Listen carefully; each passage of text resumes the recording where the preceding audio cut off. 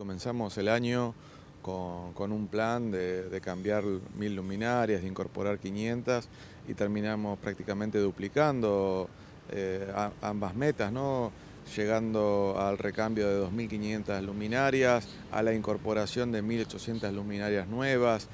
Eh, hemos incorporado luminarias de baja altura en distintos sectores del partido para mejorar las luces en las veredas, en los paseos.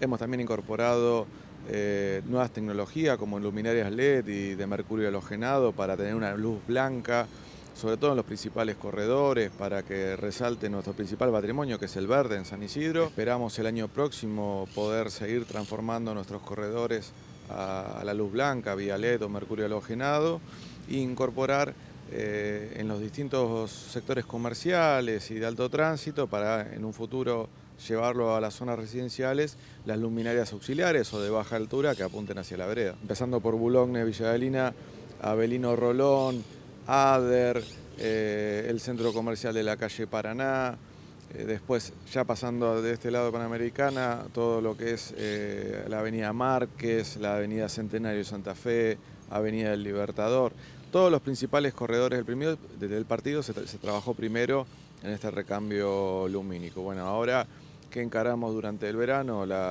todo el circuito aeróbico del hipódromo, todo lo que tenga que ver con la zona de Martínez de la avenida Fleming.